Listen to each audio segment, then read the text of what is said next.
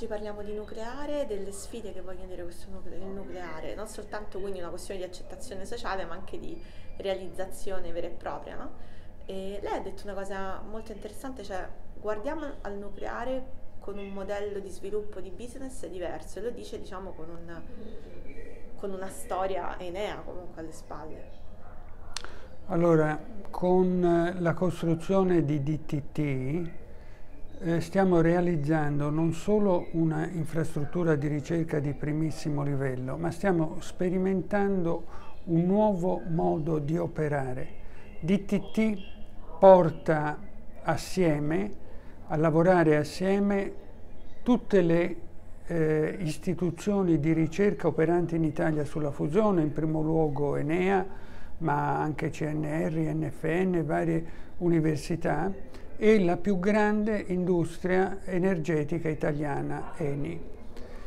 In questo modo sarà possibile coniugare l'approccio pragmatico dell'industria con il know-how generato nel mondo accademico e questo consentirà di accelerare lo sviluppo della fusione verso la produzione di energia.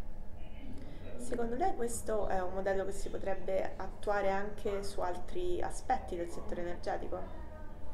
Eh, credo che sia in generale un modello vincente in tutti gli aspetti e in gran parte probabilmente già realizzato. Nel caso della fusione abbiamo oh, prevalentemente eh, sottolineato gli aspetti scientifici negli scorsi decenni e occorre ora fare un salto nel modello di organizzazione. Che tempi avete, vi siete dati? Vi siete dati dei tempi soprattutto? Dare dei tempi per la realizzazione della fusione è difficile, però sono sicuro che solo cambiando il modello organizzativo riusciremo a realizzarla nei tempi più brevi possibili l'ultima cosa, per quanto riguarda queste alleanze europee che stanno nascendo, si parla adesso di piccoli reattori, sulla fusione invece... Eh... Sulla fusione eh, c'è una lunga tradizione di collaborazione eh, all'interno dell'ambito Euratom tra i vari laboratori di ricerca. Questo ha generato del know-how che è condiviso tra tutti i laboratori operanti nella fusione.